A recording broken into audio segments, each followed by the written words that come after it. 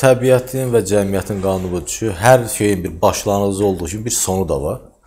Və Vasif Alavovun bu gün istefa verməsi də onun siyasi hakimiyyətinin belə deyək, son nöqtə, akkord hissəsi oldu. Və sizin də qeyd elədiyiniz kimi Vasif Talıbov 1995-ci ilin dekabrında Naxçıvan Ali Məclisinin sədri seçilsə də, amma faktiki olaraq 93-cü ilin ikinci yarısında, yəni Heydər Əliyev ə, Azərbaycanda hakimiyyətə gələndən sonra faktiki olaraq Naxçıvanı idarə edən şəxs Vasif Talıbov idi.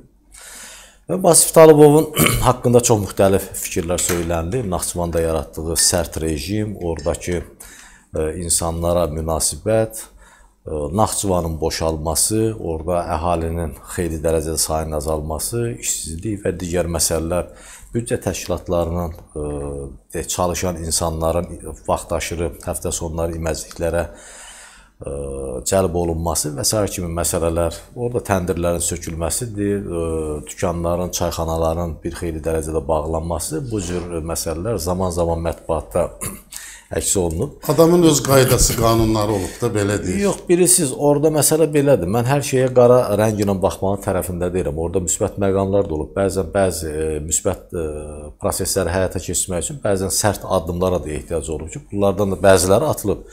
Açıqcası, yəni bunları da gərək e, biz indi Vasif Talıbov bu gün istefa verdi deyən hər şeyi mən tərəfində deyiləm. Mən obyektiv dəyərləndirmə tərəfindəyəm, amma ümumiyyətlə Vasif Talıbovun bugünkü istefasının Naxçıvanda bir epoxaya son qoyuldu. 30 illik bir idarə etməyə və onun çox müxtəlif səbəbləri var. Mən məsələləri çox böyütməyin və şişirtməyin tərəfində deyiləm.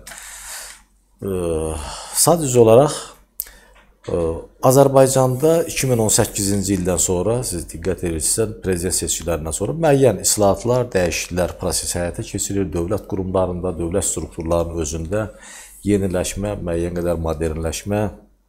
Hə bu dəyişikliklər e, tempi, intensivliyi yetərlidirmi, qane eləyirmi, qane etmirmi? Ümumiyyətlə bu e, məsələ ilə bağlı bu ayrıca bir mövzudur. Amma Naxçıvanda faktiki ə, e, olaraq mövcud idarə etmə sistemi Azərbaycandakı ə, e, başlanan proseslərin antagonist bir durumu idi.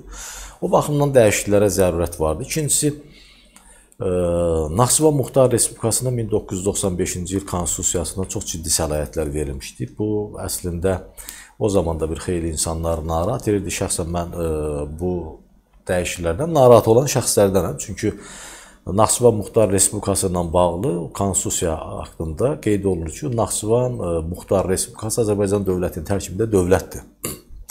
Mən anlayıram, o dövr e, siyasi konjunktura və deyək Qarabağ məsələsi ilə bağlı belə bir e, ehtiyaclar yəqin ki vardı, zərurət vardı, belə bir addıma gedildi, amma bu gün artıq 44 günlük savaş bitib, Azərbaycan yeni reallıqlar yaradıb, Azərbaycan önündə bir e, deyək ki, önü açılıb xeyli dərəcədə.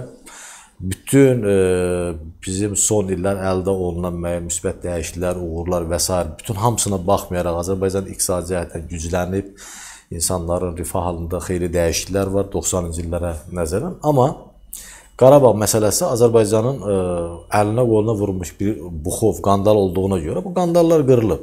İndi bizim üçün daha geniş imkanlar yaranır. Əgər biz bunu ağıllı sürətdə bunu istifadə edəbilsək, Azərbaycan regionun e, hal-hazırda doğrudan ən güclü və lider dövlətidir. Biz bu ə, e, potensialı daha da genişləndirə bilərik. Azərbaycanın nüfuzu da, imkanları da, qüdrəti də xeyli dərəcədə arta bilər. Yəni o baxımdan bu ə, proseslərə antagonist bir formada, idarə etmə forması Naxçıvanda idi.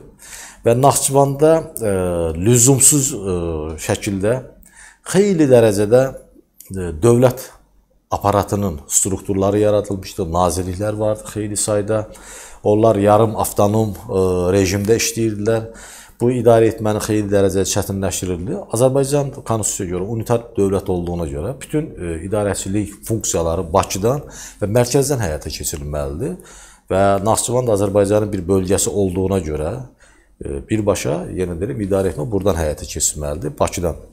Və son dövrlər diqqət edirsinizsə, bu istefaya qədər artıq Naxçıvanda əlbəttə araşdırmalar aparıldı. Tək e, həbs olunan 3 nəfərdən 500 milyon manatın üzərində korrupsiya faktları aşkarlandı. Bu o demək ki, Naxçıvanda çox ciddi problemlər olub, həm də bu sahədə. Naxçıvan e, Muxtar Respublikası əslində dotasiya hesabına birisi yaşayırdı. 500 milyon səhv eləmirəmsə. 468 milyon 500 bildiyim qədər. yaxın Bəli. Əvvəllər hardasa 350, 300 milyon üzərində həmişə olub. Bu bu daha çox bilirsiniz, məhz o idarə etmə sistemindən qaynaqlanırdı. Mən tam əminəm ki, Naxçıvanın bütün potensialı, həm insan, intellektual potensialı, həm orada mövcud olan iqtisadi və digər resurslar hərəkətə gətirilsəydi, heç Naxçıvanın ə, Azərbaycan deyək büdcəsindən bu qədər dotasiya ehtiyacı olmazdı. Ən azı mən əminəm ki, 60-70% bazala bilərdi. Və ə, Dövlət Təhlükəsizlik Xidmətinin, Dövlət Gömrük Komitəsinin ki, diqqət eləsə orada artıq komitə statusları dəyişdirildi, baş idarələr çevrildi. Mən hesab edirəm ki, bu proses getməlidir Naxçıvanda. Bu islahatlar aparılmalıdır. Çevik idarə etmə formasına keçirilməlidir.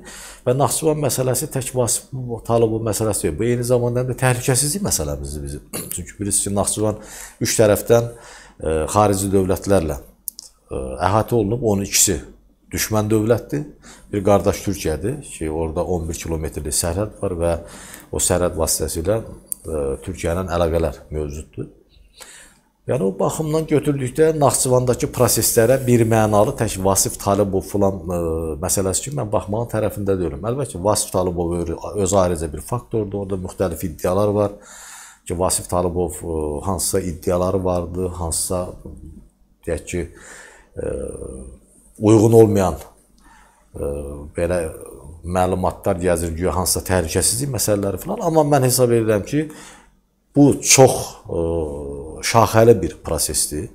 Həm Naxçıvan özü statusu ilə bağlı məsələlər mən düşünürəm baxılmalıdır, həm idarə etmə mexanizmlərinə baxılmalıdır, həm təhlükəsizlik məsələləri və s. digər bütün məsələlər komplə baxılmalıdır. Kom kompleks burada bir tərəfli ola bilməz və ə, idarə etmə ə, formasını çevikləşdirmək lazımdır. Mən hesab edirəm ki, prezidentin səlahiyyətli nümayəndəsi postu necə ki azad olunmuş ərazilərdə tətbiq olunmağa başlayıb, elə bir formaya da gedilə bilər ki, ə, ən azı prezidentin ə, təyin etdiyi səlahiyyətli nümayəndə orada xeyli dərəcədə səlahiyyətlərə sahib olsun və birbaşa ə, orada həyata keçirilən islahatlara, aparılan proseslərə və dövlətin orada təmsilçisi rolunu oynasın.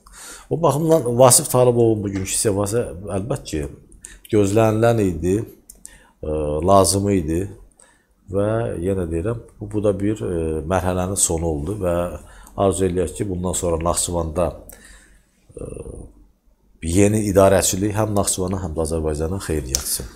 Muxtar bəy, çox kifayət qədər ciddi korrupsiya faktları